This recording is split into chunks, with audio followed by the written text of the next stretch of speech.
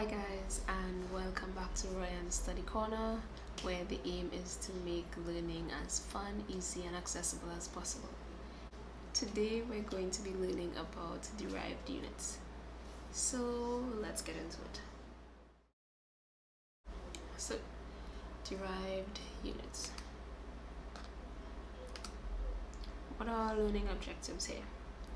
At the end of this video, hopefully we'll be able to recall that derived quantities and their related units are produced by multiplying and dividing fundamental quantities and their units. And learning objective number two is that we should be able to recall the special names given to the units for some of the derived quantities. So what exactly is a derived quantity? If we look here, we see that a derived quantity can be formed two ways. One is by multiplying or dividing a combination of fundamental quantities, which we should remember from a few videos ago, or it could be from dividing or multiplying a combination of fundamental quantities and derived quantities. So basically you can use fundamental quantities, put them together by division or multiplication to do it, or you can use some fundamental and derived and that'll give you a derived quantity as well. So how is our derived unit formed? Now a derived unit is formed exactly the same way because the same way you'd get that derived quantity you do exactly the same thing and the unit that you get from that is your derived unit. Now this may seem strange right now but when we try one I think you'll understand what I mean. So how do we get derived units? Now derived units are obtained from the same equations that are used to obtain a derived quantity. So speed. Speed is equal to distance over time. Distance is a fundamental quantity because remember that's length and time is a fundamental quantity. So speed is now a derived quantity because it was found by dividing two fundamental quantities. Now, what is the unit for speed? The unit of speed is equal to the unit of distance over the unit of time what is the unit of distance? That's meters. And the unit of time is seconds. So that's why we have meters per second. So we know speed is meters per second, or that's how we usually do it. That's the unit we usually use when we're doing calculations. So that's where we get that from. Now let's try another example.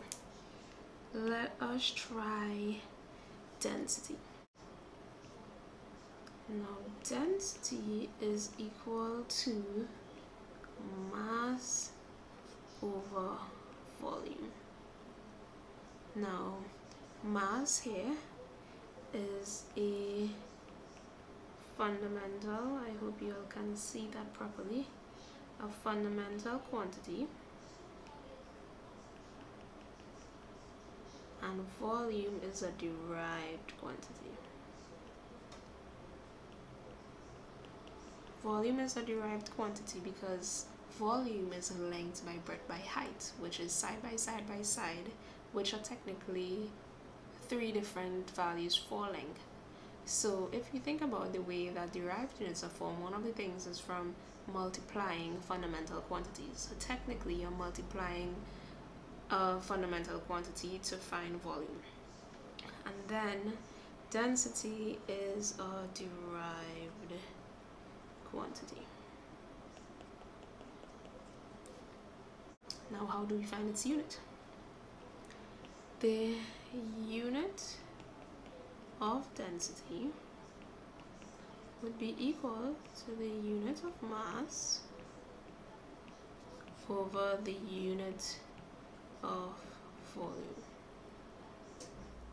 So, the unit of mass, if we think back, is kilograms me cross my T and the unit for volume is meters cubed.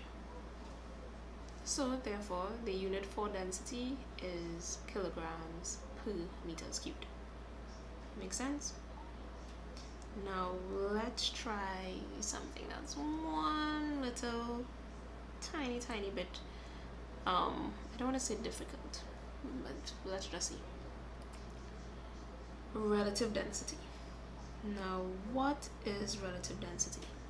relative density is the density of a substance over this is supposed to be the density of uh, um, we usually use water but essentially you can compare it to anything we just usually use the standard as water so let's go with that so let me write it out since I made that big error in the PowerPoint so relative density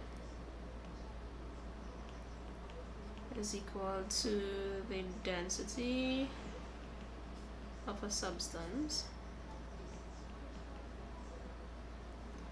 over the density of water. So, what then would be the unit of relative density? The unit of relative, let me just shorten here, density is equal to the unit of density of the substance over the unit of density of water. Now we just calculated the unit for density and we found that it was kilogram per meters cubed. So for the substance will be kilogram per meters cubed. Let's put um, a little S here for substance. And then uh, for water it's still density so the unit would still be kilogram per meters cubed.